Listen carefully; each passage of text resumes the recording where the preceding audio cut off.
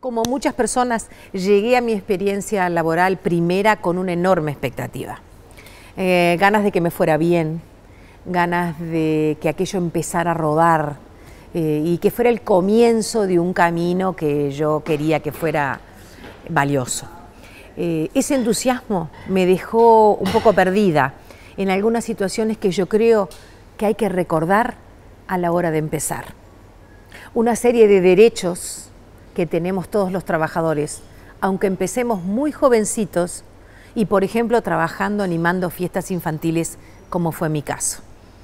El entusiasmo de los niños, el cariño de ellos, la devolución de los padres, todo eso viene muy bien, pero ese es el comienzo de un camino laboral que tiene distintas etapas.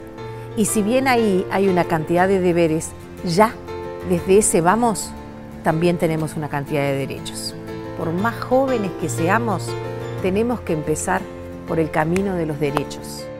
Los primeros trabajos te marcan, los accidentes también. Promueve condiciones de trabajo seguras y saludables para tu personal. Más prevención, menos riesgos. Consejo Nacional de Seguridad y Salud en el Trabajo. Organización Internacional del Trabajo.